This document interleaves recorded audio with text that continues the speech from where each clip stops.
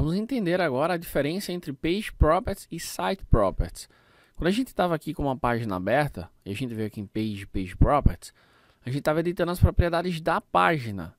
Quando a gente quer fazer algumas alterações do site em si, então a gente vem aqui, ó, File, nós temos aqui Site Properties.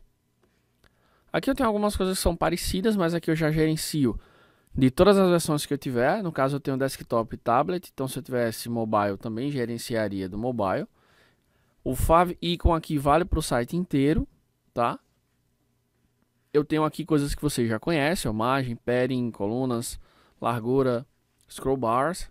A diferença, mais uma vez, é reforçando, é para o site inteiro. E aqui em Content a gente tem Language, eu vou colocar aqui Português Brazilian Enable.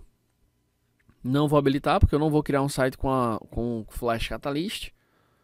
E que no caso agora é o é Business Catalyst, aliás, o Adobe Business Catalyst.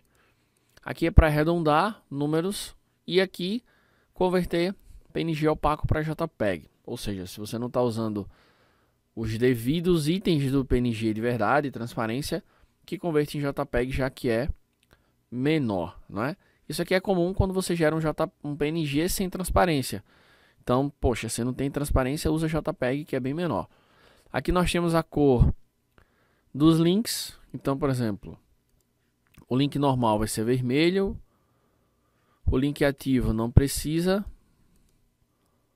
O link visitado vai ser verde, por exemplo. E o link, quando passar o mouse, vai ser roxo. Ou seja, você vai definir a cor que você quiser, tá?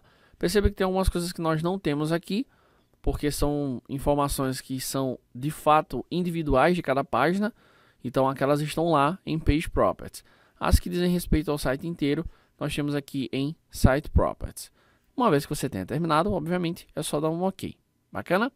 A gente se vê já no próximo capítulo falando sobre alguns ajustes e preferências do Adobe Music. Até lá!